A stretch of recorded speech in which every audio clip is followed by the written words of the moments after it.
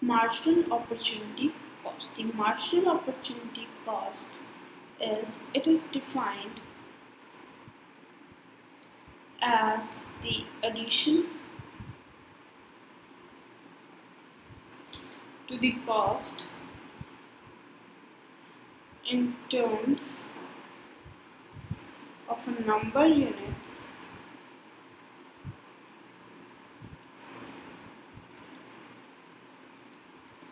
of a good sacrificed to produce one more unit of the other good. So let's take an example x good y 0 1 2 3 10,000 9,000 7,000 mm, 4,000 right? So in this your marginal opportunity cost is nothing.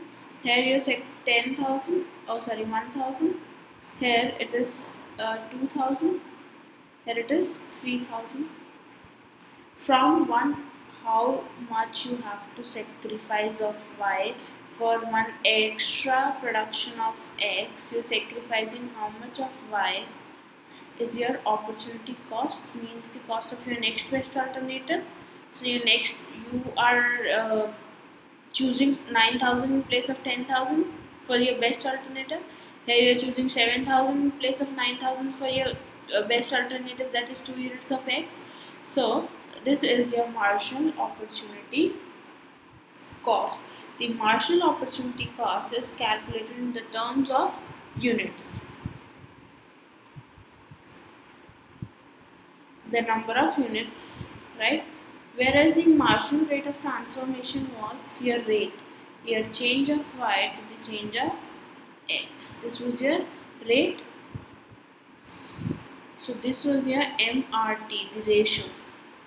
But here your marginal opportunity cost is in the units. So your marginal opportunity cost is the loss of every additional unit of the loss of good x, the loss of good uh, y for every additional unit of good x is your marginal opportunity cost.